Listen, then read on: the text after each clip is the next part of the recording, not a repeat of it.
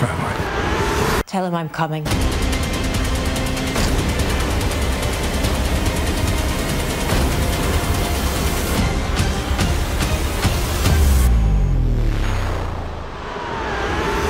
No! So, would you like to know who supposedly had all the money in the world at one point? Well, this movie, All the Money in the World, supposedly tells you that. But what did I think about it? Well, let's find out. My name is Brandon Keith Avery, and this is just my opinion. Hey, what's going on, everyone? Thank you so much for tuning in to my opinion slash review for all the money in the world. I really do appreciate it. But before we get into the review, my last movie review for 2017, go ahead and help. I can't even talk. Go ahead and help your boy out by clicking that subscribe button. Also, click the bell so you can be notified when I do make uploads and give me that thumbs up. Let's see if we can get this video to 100 likes. So, like I said, this is my last review for uh, 2017. It is not my last video for 2017. I think I'm gonna have two or three more pop up later today as well. Uh, but this is my review for All the Money in the World. Um, it is directed by Ridley Scott. Uh, Scott, for the most part, is a pretty good director to me. I like him for the most part. He's done some great movies like Gladiator, uh, G.I. Jane, The Martian, Prometheus. Um, you know, I really do enjoy those films. He's also did some stinkers like Alien Covenant. Um, he's, you know, what, uh, oh, Exodus, Exodus, Gods and Kings. I could not stand that movie.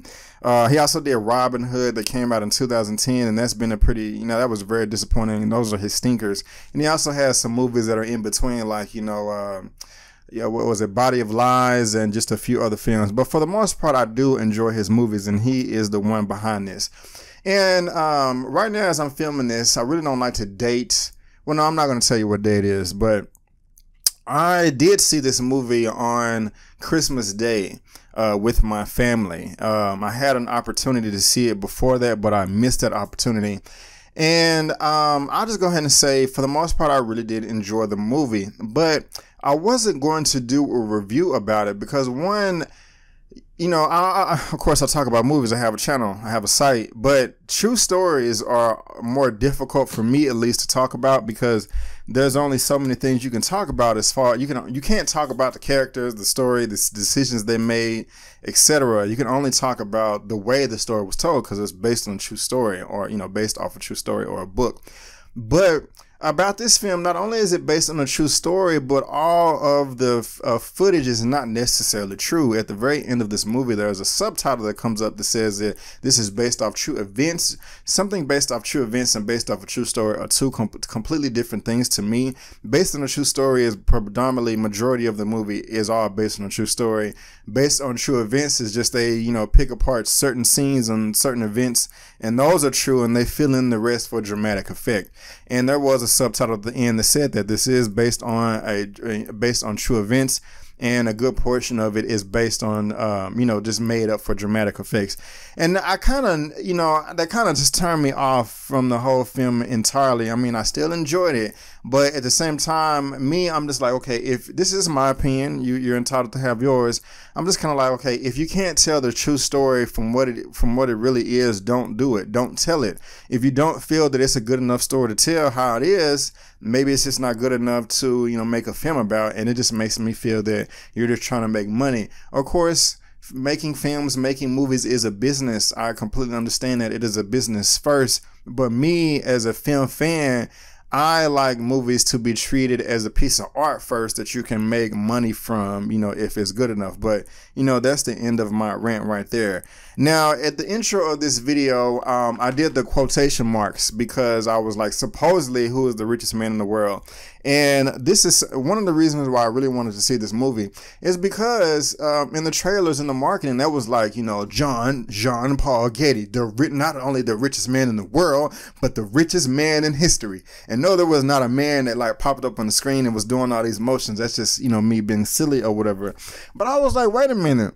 Um, this goes into my complaint about this movie being based on dramatic, uh, true events, and the rest is just for dramatic effect. Because in my research, Jean Paul Getty was not, he's probably the richest man in the world at the time that this movie took place, which is in Rome. Um, well, a part of it took Rome, a part of it took place in the States in the 1970s, 1973 to be exact.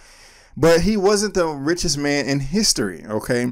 That title belongs to a gentleman by the name of Mansa Musa from Mali and he was around from 1280 AD to 1337 AD.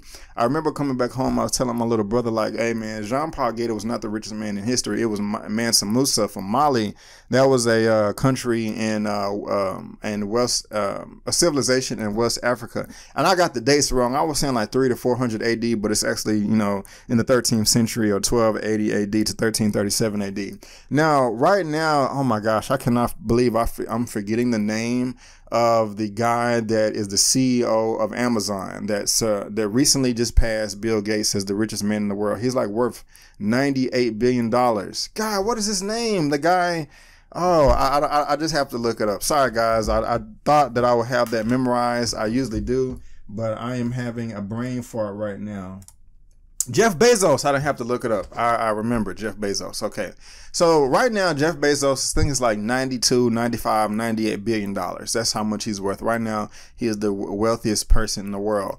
Now, Mansa Musa, um, what his wealth will be today is, I believe, 400 billion. So that's over four times, um, you know, the wealth of Jeff Bezos and Bill Gates and all that stuff. Oh, I mean, that's like, golly. I remember somebody was telling me that it was like three to four trillion dollars. Um, I mean, but, you know, since that was in the 13th century, it's kind of hard to like, you know, measure all that, you know, but he was the richest man in the world. It's kind of sad because how he lost all of his, uh, his fortune um, he like crashed the world's economy because the man was so generous that he would just go around parts of the world just giving away gold, just giving it away, giving it away, giving it away to people. Just like I have so much here, I don't need all this. I mean, I mean, four hundred billion dollars or more, you don't need all that money.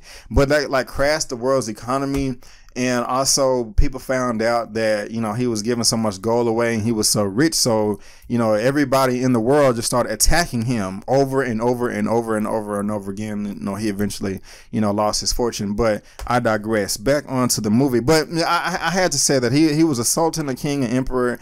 And so you know that's one of the things that kind of turned me on to the movie because i was like okay i want to i want to hear what they're talking about. And all the money in the world saying jean-paul Getty is the richest when i know mansa musa is and you know you know, they kept calling him that in the movie, and that's just something that I had to talk about.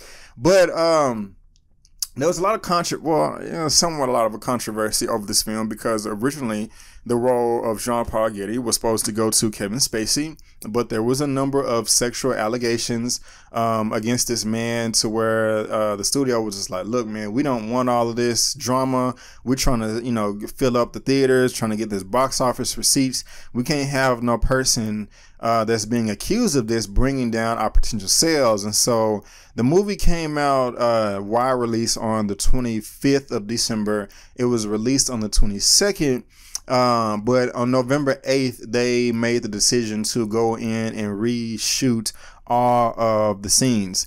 Now they replaced Kevin Spacey with Christopher Plummer. Um, it was a the role was originally supposed to go to Jack Nicholson, but he turned it down.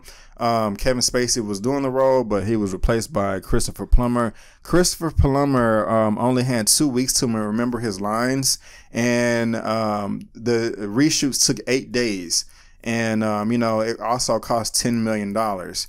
Um, there's also somebody by the name of Gail Harrison. Well, I don't I don't talk about that yet. So, um, and also when I was looking some things up, you know, Kevin Spacey is a great actor. Um, I remember seeing the trailer with him in the movie. He just seemed really cold and just like he didn't really give a crap about his money or whatever. And so I gotta stop saying whatever. I'm sorry. But when I was watching the movie, Christopher Plummer's role was like he was really warm and soft and enduring. You know, with his family, it just kind of seemed like you know he was a nice man.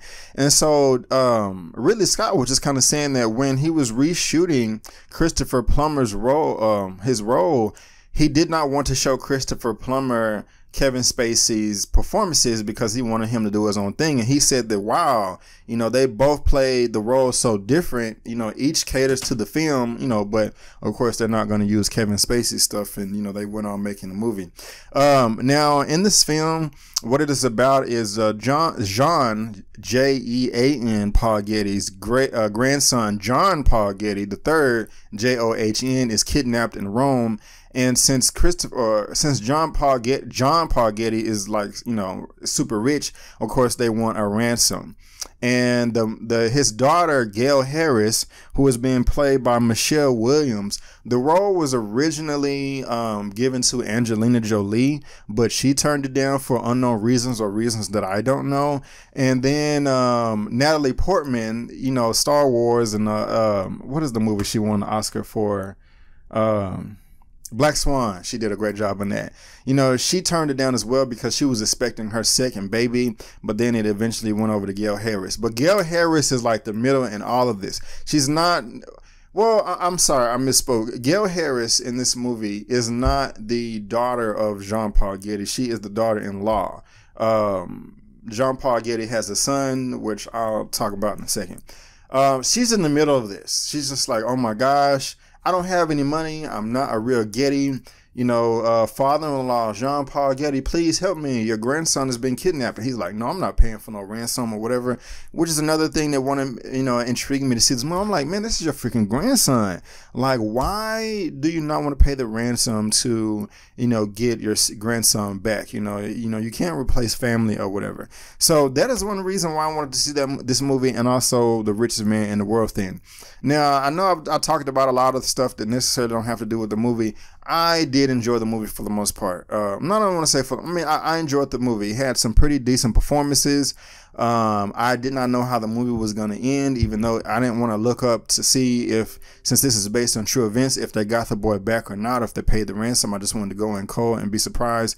But um, it was an interesting story. Um, you know, the characters, they did a great job, especially uh, Mark Wahlberg with this scene at the end. Gail, not Gale Harris, but Michelle Williams did a great job too. You know, I really did like everything that this film had to offer other than the false things, which I, I don't know which is true or false. So it's just kind of hard for me to talk about it, to be honest with you. Um, I was watching my. I, I, remember when I was watching the movie, something that turned me off in the beginning. That there was a lot of time lapses, jumping from city to city, from country to country, jumping back and forth through different times and things like that with subtitles. And I'm just like, like after the eighth, ninth, the tenth subtitle to show me what year or city or country was, and I was getting frustrated. Like, man, this is kind of hard to follow. Usually, that's not something that's difficult for me, but I remember being a little distracted and annoyed. But once things got to the actual present day of the movie you know, things did, you know, start to flow a lot smoother. And um, Christopher Plummer as Jean Paul Getty, he did a pretty decent, well, he did more than a decent job. He did a great job in the role.